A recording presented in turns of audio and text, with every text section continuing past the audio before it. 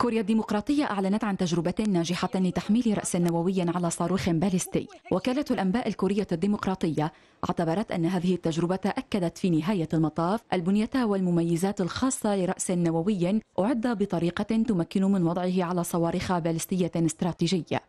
في حين أوضح التلفزيون الرسمي لكوريا الديمقراطية أن بيونغ يانغ أصبحت قادرة الآن على وضع رؤوس نووية على صواريخ باليستية.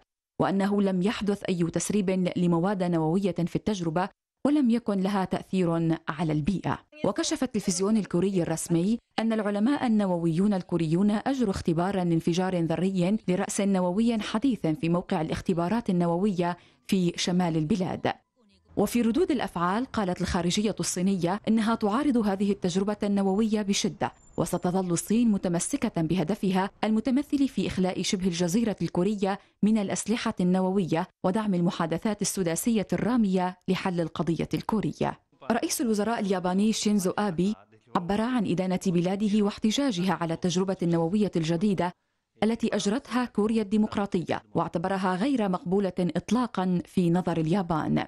في حين وصفت رئيسة كوريا الجنوبية بارك جيون هذه التجربة بأنها عمل استفزازي. وكانت كوريا الديمقراطية قد أجرت مطلع العام الجاري تجربة ناجحة لقنبلة هيدروجينية كما أطلقت في شباط الماضي صاروخا باليستيا بعيد المدى يحمل قمرا صناعيا على مدار حول الأرض.